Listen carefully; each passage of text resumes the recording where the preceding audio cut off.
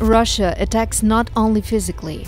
It has been waging an information war against the world and peace for a long time. Я не могу это слышать, как он поливает помоями Россию и русскую армию. Когда человек, о котором достоверно всем известно, что он гей, для отвода глаз, для личного обогащения, для пути в карьере женится на пожилой женщине и убеждает всю свою не очень доверчивую аудиторию, что у них настоящая любовь. Но вы же понимаете уровень внутреннего лицемерия, вранья и вообще качества этого человека. Ну, зараза, они там как на подбор такие. Ну, как на подбор. Ведь про каждого Ну, можно рассказать.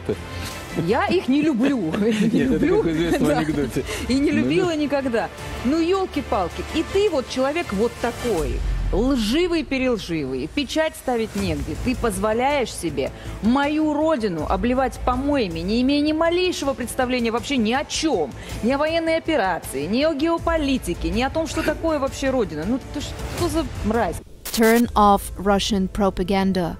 Say no to fakes and war.